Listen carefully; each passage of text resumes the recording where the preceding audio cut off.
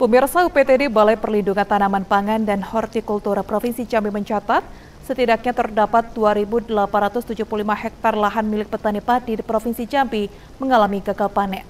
Hal itu disebabkan karena banjir yang merendam ribuan hektar sawah sejak Januari 2024 kemarin. Sejak awal tahun 2024, sebanyak 2.875 hektar lahan petani padi di Provinsi Jambi mengalami puso atau gagal panen terbanyak ada di kota Sungai Penuh dengan luasan lahan sekitar 916,68 hektar.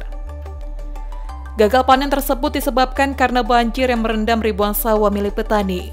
Hal ini disebabkan karena perubahan iklim dan tingginya intensitas hujan yang terjadi saat ini. Kepala Unit Pelaksana Teknis Daerah Balai Perlindungan Tanaman Pangan dan Hortikultura Provinsi Jambi, Jaja Kardia mengatakan, Gagal panen yang terjadi ini pada musim tanam Oktober hingga Maret. Pihaknya telah melaporkan hal tersebut ke pemerintah pusat untuk pengajuan bantuan pada petani yang mengalami gagal panen. Eh, Kabupaten kota untuk padi khususnya itu eh, pusonya ada 2.875,30 dan ini sudah kami laporkan melalui dinas kemudian ke BPBD dan langsung ke pusat.